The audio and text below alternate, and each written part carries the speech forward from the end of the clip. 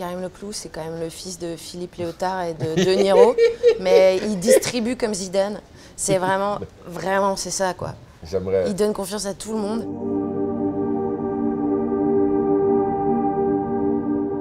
Monsieur S'il vous plaît, c'est un malade C'est un malade Non, non, mais c'est bon. Regarde-moi. Non, mais c'est bon. Regarde-moi. C'est vas-y, bon. Non, non, ouais. Qu'est-ce qui t'arrive Qu'est-ce qui t'arrive Qu'est-ce qui t'arrive Regarde. Là, là, là, tu me regardes, s'il te plaît. Les yeux, eye contact. Je crois qu'on veut le tuer. Et là, on l'a l'a agressé de façon permanente. Et quand on croise son regard, un déchaînement de violence se passe.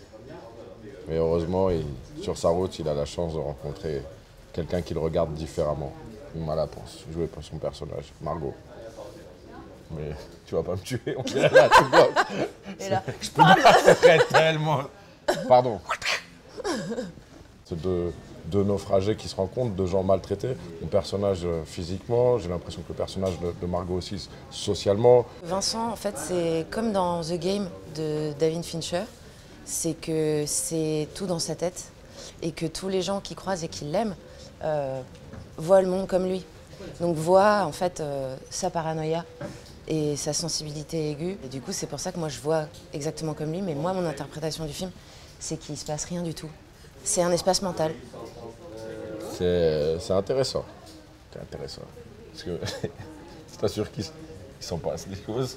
tu vois. Ouais, et, Vincent doit mourir, Margot doit vivre. Et je pense qu'au fur et à mesure, ils apprennent que aimer quelqu'un, c'est surtout faire grandir en soi-même quelque chose qui protège l'autre personne de toi-même. Et je pense que c'est ça qui, qui découvrent ensemble. Moi, j'ai pris aussi le film comme un- une représentation de gens qui, qui essayent de combattre pour survivre, et je trouvais ça super original de, l'inscrire dans un cadre de film de genre, de, de film de, de parfois de zombies, pré-apocalyptiques, et d'avoir par le corps raconté quelque chose socialement. C'est un film d'action avec euh, des gens qui ont pas qui ont des tablettes de chocolat qui ont fondu, qui, non mais c'est des gens ordinaires qui se battent. J'adore parce que je trouve que par le corps on peut exprimer plein de choses et que ça évite d'apprendre des lignes de dialogue. Donc c'est pas mal.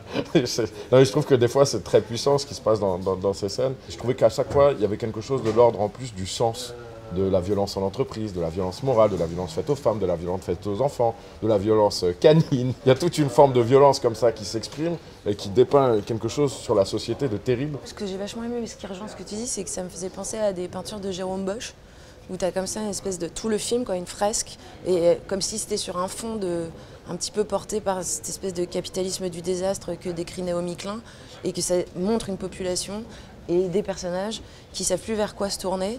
Et finalement, ce qu'ils finissent par trouver, c'est l'amour. Mais l'amour, effectivement, entre père et fils. Euh, la relation entre François Château et Karim, euh, elle est merveilleuse. C'est un papa poule, il s'occupe de lui, il lui fait un café pour la route. La relation entre euh, bah, un chien et son maître, quand même, l'amour canin, c'est vrai. Et les relations amoureuses.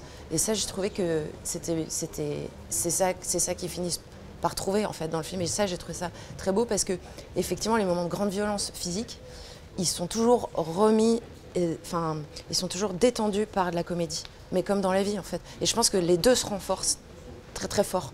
Si tu es toujours sur euh, euh, drame ou si tu es toujours sur hi hi hi hi. Enfin, ce qui est bien, c'est vraiment que les deux arrivent. Ça tient sur l'humain en fait. Quand tout va mal, il reste encore, euh, encore ce- cette touche, euh, je trouve, d'espoir. Et même sur l'aspect comédie romantique, d'avoir des, gens qui s'inscrivent dans un monde brutal, je trouve que ça renforce euh, ce- cette comédie romantique, que c'est pas un film à l'eau de rose, mais qui, qui- ça, ça s'inscrit dans une société et que du coup l'histoire d'amour, elle en devient euh, d'autant plus belle euh, et, et surtout quand elle est jouée par, par Vima Laponce. Karim Leclou, c'est quand même le fils de Philippe Léotard et de De Niro, mais il distribue comme Zidane. C'est vraiment, vraiment, c'est ça quoi. J'aimerais. Il donne confiance à tout le monde, non. aux chiens, aux cascadeurs, aux Vimala, Vima au château. Et puis au pire, si on ne tourne pas ensemble, je pense qu'on ouvrira un magasin d'outillage. Ouais. Parce que Le clou ponce. Le Clouponce, ouais. Voilà, pardon. Et sa première amoureuse, elle s'appelait Marteau. Oui, mais il ne faut pas tout dire comme ça. Ah d'accord.